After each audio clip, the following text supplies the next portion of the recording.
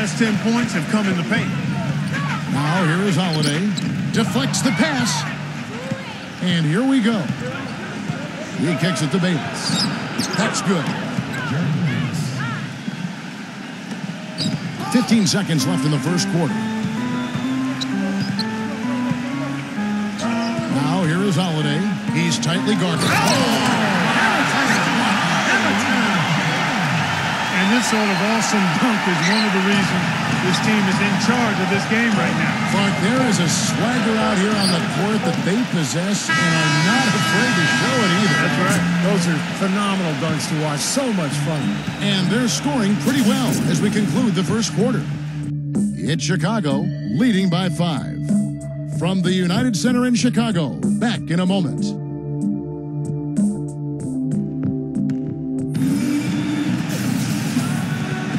And now the second quarter just getting set to start. And guys, what do you think about the offensive approach we've seen so far for the Bulls? Tell you what, guys, they're showing us a lot of energy early on and racking up those fast break points. And the other thing they're doing is forcing a lot of turnovers, and that's helping them to get easy points at the other end. One thing with Wade that doesn't seem to be going away is his quickness off the dribble. He still has that devastating crossover. He may not be able to do it every night, but there are nights when you know, he just looks like he's right in his prime. And let's now go to the sideline. We'll catch up here with Doris Burke. Doris? Guys, last year, Dwyane Wade set a career high for field goal percentage at over 52%. D. Wade said, quote, back when I had the team, I was the top player. I had to shoot shots I wasn't comfortable with. I made some, I missed a lot. I have a different role on this team. I don't have the ball all the time, so I need to take shots that come and understand which shots are my shots. Kevin, you gotta love the dedication to efficiency for the team's sake. That's why he's a champion, Doris. Thanks. And Wade has a number of elusive moves, Clark, getting into the lane. He hit the spin, the Euro step, which I love, by the way. Yeah. And the, the windmill crossover. He's got it all. I mean, he's figured out how to get to that bucket, and I think the crossover is probably his custom move. Just as he changes direction, he swings the ball quickly over his head to the other side, avoiding the rip, and he makes it look so natural you might think nothing of it, but youngsters around the league, go to school on that one. That's a heck of a move. And here in the second, with about a minute and a half gone by, number 10. And a strong finish with two hands. Taking it to the rack with power right there. And hammering down with the two-handed slam. Well, they already had him staggered, and now all of a sudden they're throwing some haymakers. Back to Johnson. Some nice ball movement here by the 76ers. Six to shoot. Number 11. And again, it's Philadelphia. Well, you know, when they need a big three, he's the guy they look to. He's about as reliable a deep threat as, as you're going to find. And you know what, Steve? We also have to talk about his shooting. I mean, the fact that he copes with tight D better than anyone is something to make note of. His percentage stays the same, and if he's wide open, he's automatic. And that's out of bounds. Chicago will retain possession.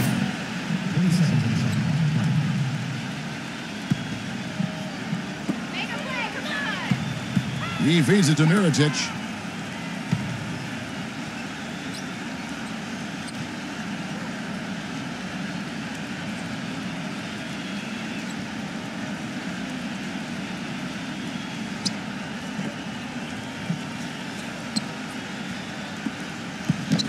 Number six. Foul call that time on the way up. That'll give him two chances at the free throw line here. Well, there's a new ownership group in Philadelphia as of 2011, and in this offseason, they pulled the trigger and brought in new leadership in the front office. Looks like they're jumping on the analytics bandwagon, hiring the former brain trust of the Houston Rockets. Sarge. And he takes the feed in stride and slams it home. Now, this is why the breakaway rim was invented, for plays just like that. Well, he almost brought the whole thing down, Clark, by hanging on that long. Yeah, he did. Uh, it was a great dunk and also a great game we've got here. Gets it to go. And the Bulls lead by five. And back to the Sixers. I guess for the Wall Street ownership group, going mathematical is something they will, you know, stay pretty comfortable with. Well, it's something that a lot of teams are going to now, Kevin. Uh, you know, the, the new owners, a lot of them businessmen, they want to turn to math to try to figure this whole thing out. Bottom line, though, is it's a combination. It's not just stats. It's talent, stats, chemistry, coaching, a lot of things that goes into winning.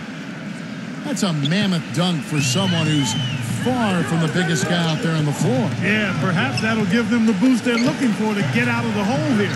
Yeah, it should. I mean, if that doesn't fire them up, I don't know what will. Now the 76ers on the break. Boy, the floor really opened up for him there. It sure did. I mean, that was a very late reaction from the defense there. Here in the second quarter, just under three and a half minutes played. Dunn passes to Mirotic. And he throws it down hard with one hand. How about that? Breaking out the Statue of Liberty on that dunk. A nice way to pad that lead a little more. Yeah, you got that right. Deflected. Fast break. Here comes Chicago. Boom. He jams it straight down. Good aggressive finish on the break. That's as easy a two points as you could ask for. The 76ers trail by seven. What a great play to sacrifice his body and take the hit. Yeah, I thought that was excellent awareness and anticipation to beat him to the spot there. And the 76ers making a change here. The Bulls have gone 7 of 11 from the field in the second quarter. Pass to Dunn.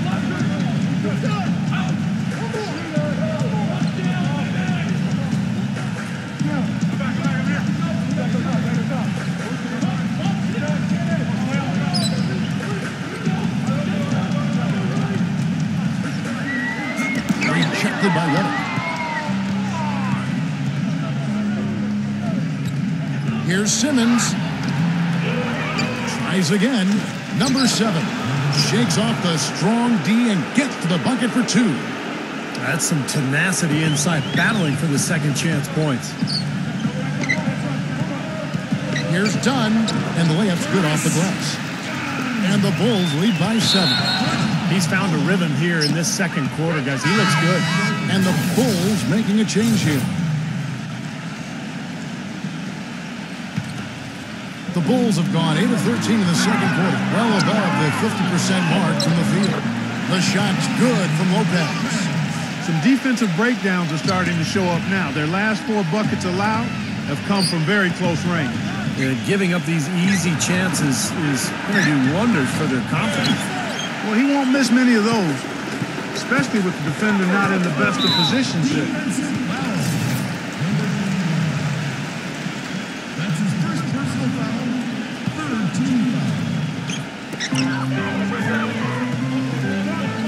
Eight, defended by Simmons. Lopez dishes to Mirotic. Here's Dunn. Good on the three-point shot. And now a 12-point Bulls lead. He's really starting to ramp it up now, getting involved in the offense here after being held without a point in the first.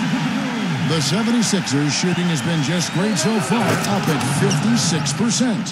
Out of this world aerial skills for a guy of his size. Kevin, that's what separates him from some of the other point guards around the league. The ability to rise and throw it down. And I wouldn't be surprised if that spurs them on. Maybe sparks a little bit of a comeback here. Pass to Lopez. It's hauled in by Saric. The 76ers trail by 10. And Doris Burke has something for us. Hey, Doris. Gentlemen, this summer the Bulls broke ground on a new 60,000 square foot practice facility situated just east of the United Center. Starting next season, it will replace the 12-year-old Berto Center, a half hour away in Deerfield, Illinois. The Bulls coming back downtown and doing it in style, in a state-of-the-art building with all the amenities, including a rooftop green terrace. Kevin? Pretty impressive, Doris. Thanks. Nice hops and determination that time. Uh, hard to get to the rim. We know he can bounce, and right there, an example of how dangerous he is when he's got a path to the hoop. And, and you love the versatility, guys. Being a point guard, and in this situation, they tack on two more points, expanding the lead in a, a pretty deflating way for the defense.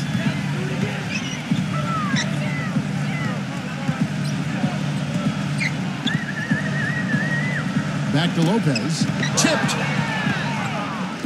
And now Redick pushing it up. No one back to stop him. And that one's good.